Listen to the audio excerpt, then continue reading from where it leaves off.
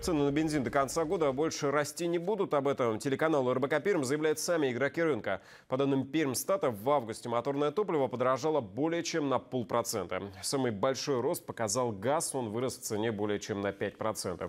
92 и 95 бензин в среднем по краю подорожали более чем на полпроцента.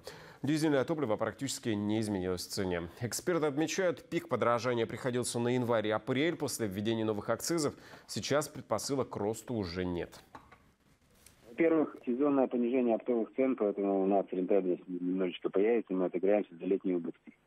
Потому что того, такая конъюнктура, что летом мы ничего не зарабатываем, а зимой зарабатываем, хотя спрос падает в связи с тем, что автомобилей меньше. Экономика а сейчас на таком низком уровне, и она просто не потребляет много. И если завышать цены, то ну, люди просто будут меньше брать, и это тоже неинтересно. Поэтому я не вижу никаких причин для того, чтобы цена росла.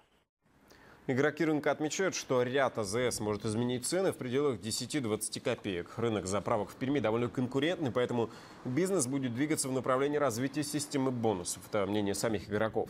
Ранее представитель Федеральной антимонопольной службы заявлял телеканалу РБК Перм, что к концу года бензин может даже подешеветь.